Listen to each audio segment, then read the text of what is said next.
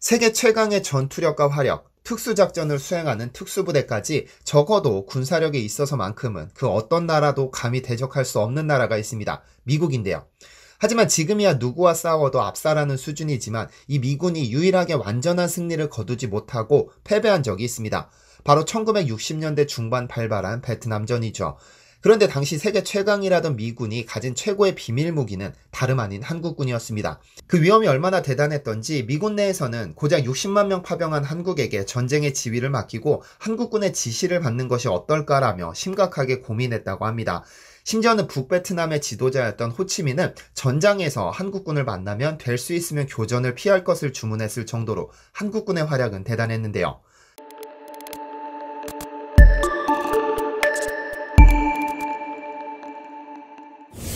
안녕하세요. 디스멘터리입니다. 지난 2014년 12월 31일에 개봉한 국제시장이라는 영화는 우리나라 근현대사의 주요 사건들을 박진감 넘치게 때로는 유머러스하게 다룸으로써 엄청난 흥행에 성공했습니다. 한국전쟁의 시작을 알린 흥남철수 작전부터 파독 광부, 간호사 이야기, 베트남 파병, 이산가족 찾기 운동까지 40년대에 태어난 어른들이 모두 겪은 실제 사건들이죠. 그런데 황정민 배우가 영화에서 가장 젊은 시절을 가장 치열하게 보낸 장소는 바로 베트남이었습니다. 결혼 자금이 부족한 여동생을 위해 전쟁터에서 일하는 대신에 보수를 받기로 결정한 것입니다. 그런데 영화에서 황정민은 군인이 아니었음에도 전쟁터로 보내지는 말도 안 될 법한 이야기가 전개되지만 이 말도 안 되는 상황이 1964년에는 가능했습니다. 존 F 케네디 대통령은 제3세계에서 중국과 소련 등의 사회민주주의 국가에 의한 민족해방운동을 미국에 대한 정면 도발로 받아들이고는 1962년 비전투 요원을 파견했는데 이들에게 만약 적으로부터 공격받는다면 전투에 임해도 좋다는 특별 명령까지 하달함으로써 참전을 공식화했죠. 그리고 1964년 7월 말 북베트남의 공격으로 미 해군 구축함이 공격받은 통킹만 사건을 계기로 미국 의회는 대통령이 필요한 모든 조치를 취할 수 있도록 하는 통킹만 결의안을 채택하고 케네디 후임 존슨 대통령은 베트남 전쟁에 본격 참전합니다. 그런데 당시 단독으로 베트남전을 치르기에는 부담이 됐기 때문에 우방국들에게 지원을 요청했는데 그 중에는 한국도 포함됩니다. 1차 파병 당시 의무병 130명과 태권도 교관 10명 등 비전투 요원만을 파견했고 2차 파병에서는 비둘기 부대 2,000명을 건설 등의 대민 지원군으로 그리고 3차 파병부터는 전투부대가 파병됩니다.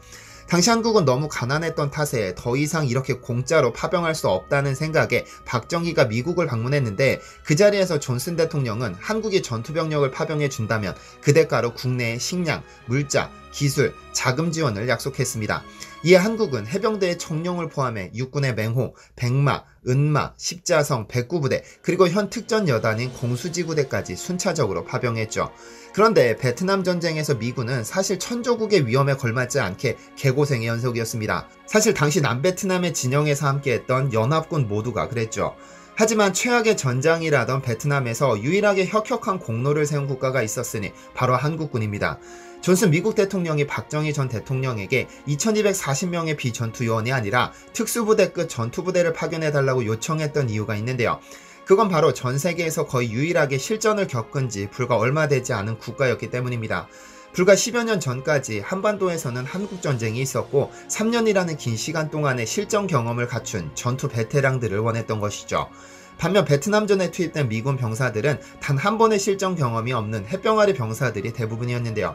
따라서 부족한 전투력을 상쇄하고자 돈과 무기면 충분할 것이라는 미군과의 계획과는 달리 북베트남군은 쉽사리 포기하지 않았고 무엇보다 그들을 난처하게 만든 것은 정글에서의 싸움이었습니다. 베트콩은 이미 정글이라는 자연 환경에 너무 익숙했기 때문에 마치 제 집 드나들듯 자연스럽게 치고 빠지는 게릴라 작전을 펼쳐 미군들의 길을 쏙 빼놨습니다. 귀신에 홀린 듯 미군들이 전의를 상실했을 때쯤 베트남의 맹호 부대가 등장하자 전투가 새로운 국면으로 접어들게 되는데요. 일단 베트남전에 참전한 맹호부대나 청룡부대나 백구부대는 일반 병사가 아닌 특전사 혹은 해병대처럼 특수전 병사들로 구성되어 있었고 그들 중 이미 6.25 전쟁에서 실전 경험을 쌓은 베테랑급 지휘관이 포함되어 있었습니다. 이들의 전투력이 얼마나 대단했는지는 사상자 교환 비율로 나타납니다. 신참들로 구성된 미군의 교환 비율은 1대 9, 즉 한 명이 9명의 베트콩을 처리했지만 한국군의 교환 비율은 1대 24로 3배에 가까운 월등함을 자랑했습니다. 그래서 한국에서 파병된 부대와 베트콩이 같은 비율로 맞붙었을 때는 한국군이 압살해버림으로써 베트콩에게는 한국군은 공포의 대상이었습니다.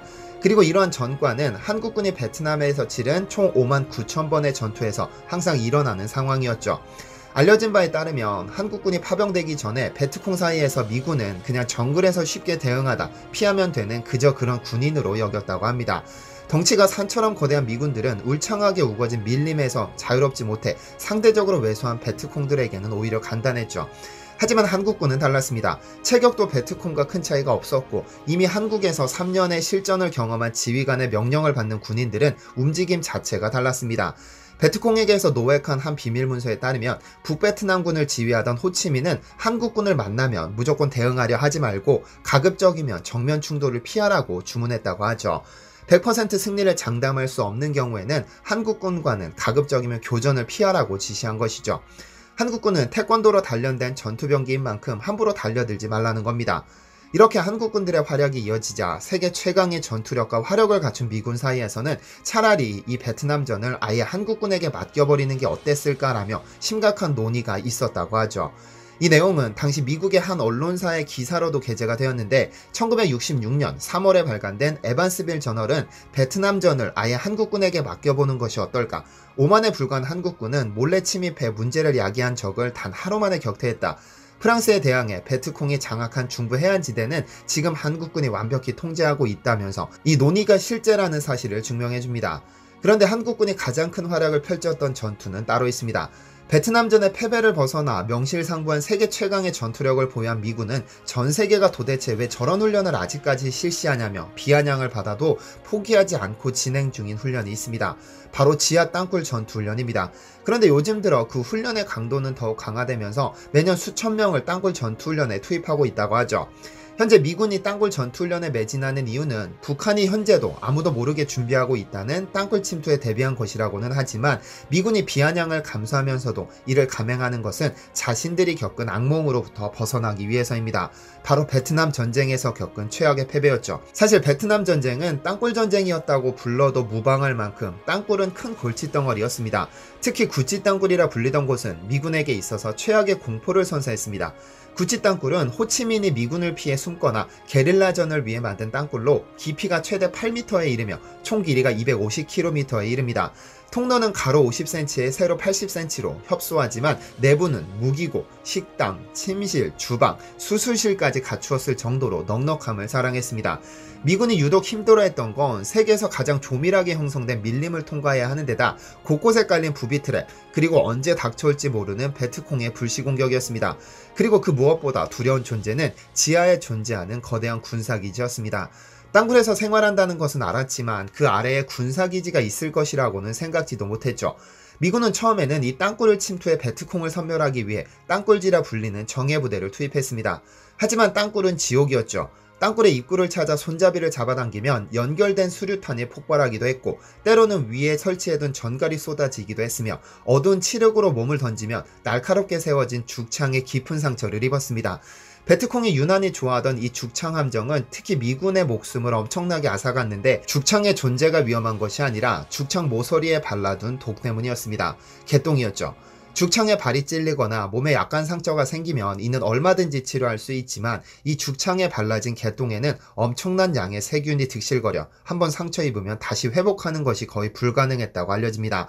어찌어찌 이런 위험들을 간신히 피해 땅굴에 진입해도 그 다음이 문제였습니다. 공간이 협소한 관계로 칼, 권총 등 최소한의 무기만이 활용될 수 있었고 모퉁이를 돌 때마다 적군이 갑작스럽게 기습하거나 독사를 풀어놓음으로써 미군에게 극강의 공포를 선사했습니다. 처음에는 지원자로 땅굴지를 선발했던 미군은 그 악명 높은 땅굴에서의 작전에 지원하는 지원자가 없어 모진 고생을 겪었다고 알려져 있는데요.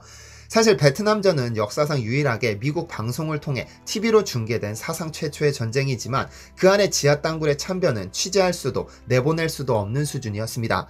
이런 땅굴지 작전이 미군에게 어울리지 않았던 건 일단은 베트공의 덩치에 맞게 설계된 땅굴의 입구를 덩치 큰 미군이 진입하는 것 자체도 어울리지 않았다는 점입니다. 하지만 미군이 땅굴지를 대신해 투입한 한국군은 달랐죠. 베트콩에 비해서는 덩치가 크다고 하더라도 당시 가난했던 한국군들의 덩치는 이 땅굴 입구를 무사히 진입할 수 있을 만큼 충분했다는 점입니다. 이에 베트콩은 부비트랩, 전갈, 죽창 등으로 무장시킨 더 많은 땅굴 입구를 만들어 한국군을 오인하도록 만들므로써 한국 군의 땅굴 침입을 막아냈지만 더 큰 문제는 따로 있었습니다. 한국에서 파병된 특수부대원들이 이제 땅굴 입구를 찾아내 대응하는 속도가 눈에 띄게 빨라졌다는 점입니다. 베트콩이 설치하는 족족 땅굴 입구를 찾아낸 한국군은 그곳을 봉쇄한 후에 주변에서 발견되는 입구까지 전부 막아버린 후 화생방 훈련이라도 하듯이 그 안에 최루탄을 뿌려댔고 탈출하려는 베트콩을 마치 두더지 잡기 하듯 나오는 족족 일망타진했습니다. 이렇게 한국군이 생각지도 못했던 창의적인 방법으로 베트콩을 섬멸해 나가자 미군 내에서는 한국군은 최강의 전투부대지만 너무 잔인했다는 평가가 나오기도 했습니다. 사실 한국 파병부대의 활약은 해외 언론들이 더 자세하게 보도하고 있습니다. 프랑스의 르몽드는 프랑스군과 남베트남군, 미군이 12년 동안 수백만 발의 포탄을 쏘아 점령하려던 공산군의 요새는 한국 해병대의 2시간 공격으로 무너졌는데 수천 명의 전사자를 낸 우리 연합군은 도대체 무엇을 잘못했는가 라며 한국 해병대의 특출난 작전 능력에 감탄을 표했고 미 하원 국방위원장은 한국군의 특출난 작전 수행 능력을 이렇게 평가했습니다. 한국군과 미군의 전술에는 큰 차이가 있다. 한국군은 적이 사격하면 즉시 동서남북 사방으로 공격을 가해 베트콩이 도망칠 기회를 주지 않았다.